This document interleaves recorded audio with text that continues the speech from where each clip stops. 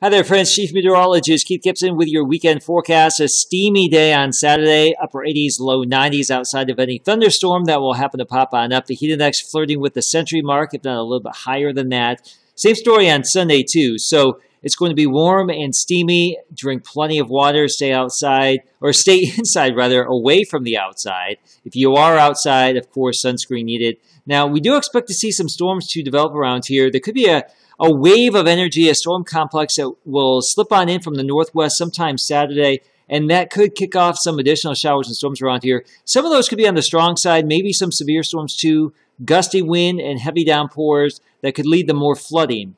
Those are the primary threats. Maybe some hail too with this uh, very unstable atmosphere. So uh, we do expect to see some storms on Saturday. And as we get into Sunday, can't rule some additional storms out, but right now it looks like coverage will be much less than what we may end up with Saturday. Monday, Tuesday, Wednesday, Thursday, pretty dry, and eventually a little bit less humid by the middle of the week. Our lows will get back down into the mid 60s, maybe some upper 80s for highs. Now, the end of the upcoming work week, next weekend, there could be a system in the Gulf of Mexico, a tropical system we'll be watching. That's a long ways off, but some data still suggests it. We'll be watching that all weekend long, and of course, next week. There's your AccuWeather 7 day forecast. Have a great weekend.